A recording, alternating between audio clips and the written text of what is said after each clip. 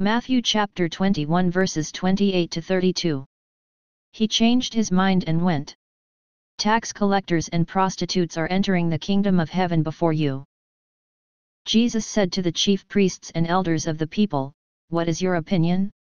A man had two sons. He came to the, fir to the first and said, Son, go out and work in the vineyard today.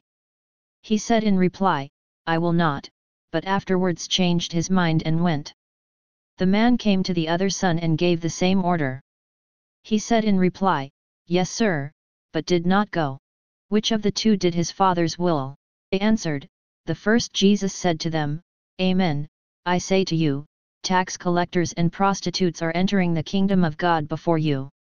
When John came to you in the way of righteousness, you did not believe him, but tax collectors and prostitutes did. Yet even when you saw that, you did not later change your minds and believe him. The Gospel of the Lord. The parable is really about responsibility, and sin. But let's put the parable in context. Jesus had cleansed the temple of the money changers and concession operators. Cursing the fig tree was a way of pointing out the hypocrisy of the religious leaders. His authority to do these things was then brought into question by the religious leaders. Verses 28 to 32 have to do with the average Jew and the various religious leaders' response to God's will. They are easily applied to you, and I as well as our present-day ministerial leaders. Verses 33 have to do with their coming punishment for disobeying or ignoring the Father's will. And Matthew chapter 22 verses 1 to 14 explains how the punishment will be carried out. In today's reading the Father is God.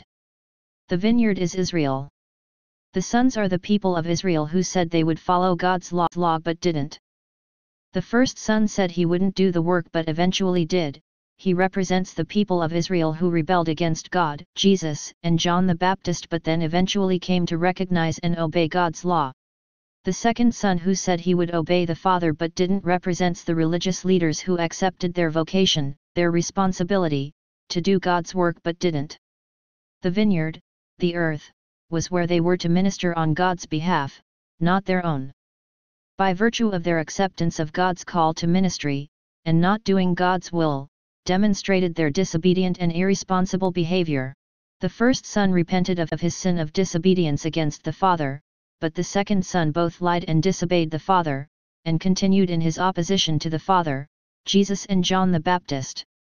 The first son knew he needed God, just like the tax collector and the prostitutes did, but eventually he repented and followed the will of the father. The second son or the religious leaders, felt they were in no need of God, they were self-sufficient, in control of their lives and considered both John the Baptist and Jesus threats to their authority. They were being phonies who would go through the motions of being religious leaders but only to enhance their own control over the people.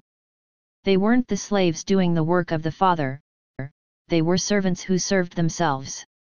They had forgotten that they can fool men with their actions and words, but God knew their true intentions. Had the religious leaders followed John the Baptist's lead to righteousness, they would have accepted Jesus and have done the will of the Father.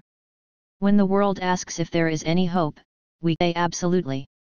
No one is exempt from tragedy or disappointment, God Himself was not exempt. Jesus was not offered immunity, no way out of the unfairness, but rather a way through it to the other side. Philip Yancey